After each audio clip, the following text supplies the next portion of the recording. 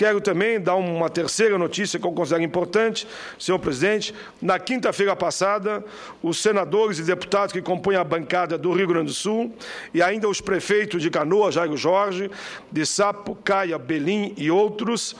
é, num total de 25 participantes, estiveram em audiência com o ministro do Nascimento, é, lá no transporte,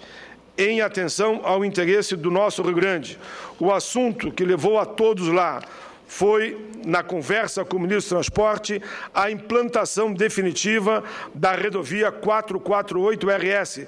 trecho BR 116 RS e 118 RS, obra orçada em 800 milhões de reais, a qual, pela sua envergadura social e valor, ocupa, juntamente com as obras do Transurb, o status da maior obra com investimentos do governo lá no meu estado. É a chamada rodovia do Parque, que vai ligar praticamente de São Leopoldo, passando por Canoas, a cidade onde resido, chegando então a Porto Alegre. Hoje, para você chegar de Canoas a Porto Alegre, no momento de pico, ou do rango, como alguns diz, ou do,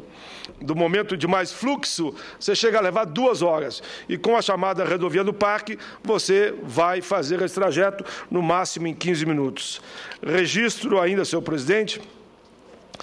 porque isso demonstra que a união de forças políticas e sociais para o bem do Rio Grande se fazem na hora necessária, demonstrando também a responsabilidade do governo federal, do governo federal com o nosso Estado, independentemente de quem seja o partido que esteja no governo.